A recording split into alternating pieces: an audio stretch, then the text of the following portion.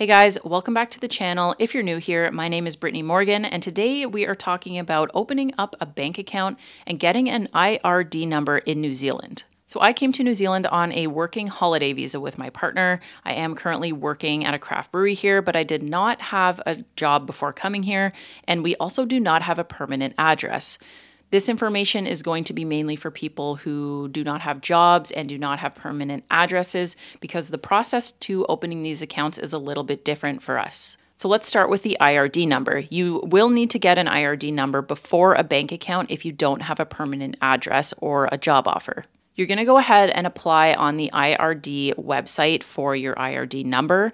Everything is done online. It's super quick, it's super easy. Make sure you fill out the application with all the information that you need, like your passport details, your visa details, etc. So you will need to fill out a form called a CDD or a customer due diligence form. You can get to this on the Inland Revenue website. And you will need this in place of a bank account. So, in order to get a bank account here, you do need proof of permanent address.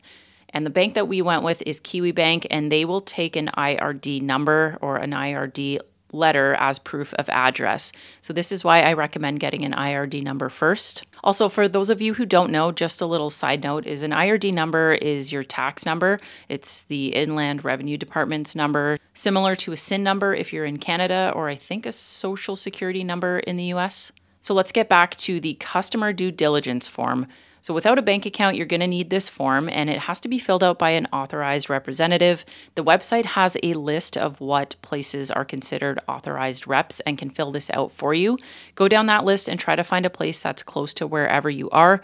We ended up using a lawyer's office and everything was free. We just walked in with the form, our passports, our visas, and all of our documents and asked them to fill this out. They didn't really know what it was at first, so I'm not sure if this is a new process for New Zealand or not, but they did end up filling it out and we ended up submitting all of that paperwork to an AA center. The next step is to go into an AA center. This will be to confirm and verify your identity. It does seem a little bit strange. An AA center is a vehicle center. Things like WOFs or warrants of fitness are done there, driver's license changes are done there, but they also do IRD number identity verification. So make sure you're checking online to see which AA center is closest to you and to make sure that that center provides this service. Not all of them do.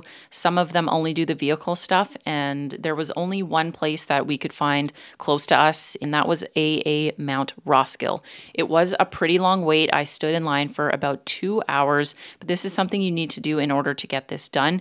So make sure if you can, you're going again on a weekday early in the morning. It's also important to note here that the rep that you're working with at the AA Center might not know what a customer due diligence form is.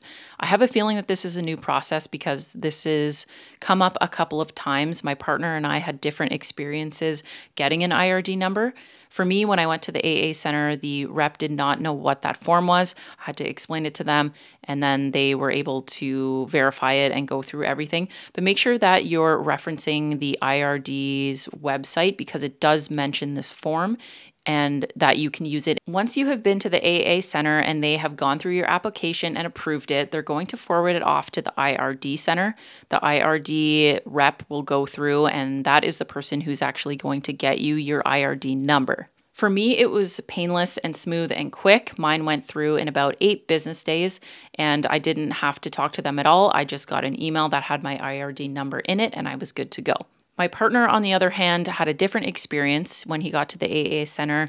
He was good with the customer due diligence form and everything went through. But when it got sent up to the IRD rep, they did not know what that customer due diligence form was. They did not know that it could be used in place of a permanent address or a bank account because typically you cannot get an IRD number without a bank account. So if you do need to talk to a rep from the Inland Revenue Department, make sure that you reference again their website that says that you can use that form. My partner just sent them a screenshot on his phone of that part on their website that says that. And then the rep, of course, was like, Oh, yes, you're right. I did not know that. Thank you for letting me know. We can process your application. So just make sure you stick to your guns when it comes to this customer due diligence form, because I do think it's a new process and not everyone knows that that is an option. So once everything is approved and you have your IRD number, you're ready to to get a bank account. We used Kiwibank. I don't know if any of the other banks in New Zealand will allow you to open up an account without a permanent address or a job offer. A Kiwibank will take an IRD letter as proof of address. So we just applied online. You go to the Kiwibank website, fill out their little questionnaire on your phone, and then you'll get an access card number and a bank account number right away. Once you get that, you can go into a Kiwibank location or a New Zealand Post location that has a Kiwibank in it to verify your identity. Make sure you have the IRD letter printed out. Make sure you have a copy of your visa printed out as well as your passport. This process can be a little bit time consuming. Make sure you're going on an off day. If you can get there during the week in the morning when they first open, you will have the best shot at getting in and out of there quickly. If you're going later in the evening or around lunchtime or on the weekend, it's going to be very busy, probably to the point where they're not able to process your application that day.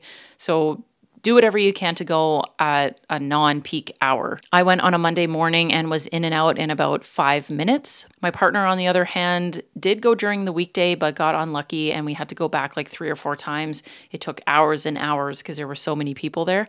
But once you verify your identity at these locations, they will give you a Kiwibank access card, a debit card. It does not have your account number on it. It's basically just a, like a blank card they program with your account information, and then you can use it to tap or insert. Use it just like a regular bank card. So I hope this video helped you if you're planning on moving to New Zealand from overseas. It was a very strange process, and everything that we had consumed information wise prior to coming here was either incorrect or just wasn't in the right order.